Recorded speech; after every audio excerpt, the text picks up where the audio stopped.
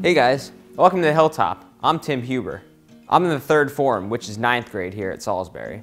We're so excited for your virtual tour. We're gonna check out places like the dining hall, the library, and maybe even a dorm room.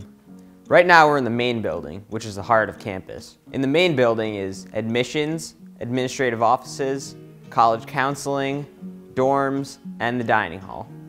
Most meals are buffet style, but twice a week we have sit-down lunch.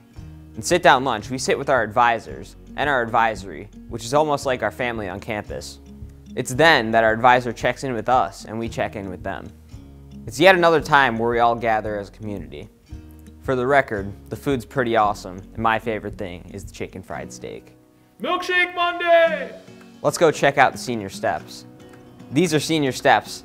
This is where we have school meeting twice a week, whether it rains, shines, or it snows. School meeting is a chance for anyone to make an important announcement to the entire school community. We announce birthdays, sometimes you get donuts, and overall it's just a fun break in the middle of the day. This is also where we hold graduation.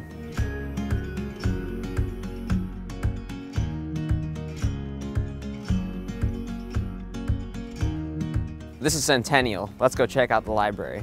If you don't want to go back to your room during a free period, you can come here to get some work done.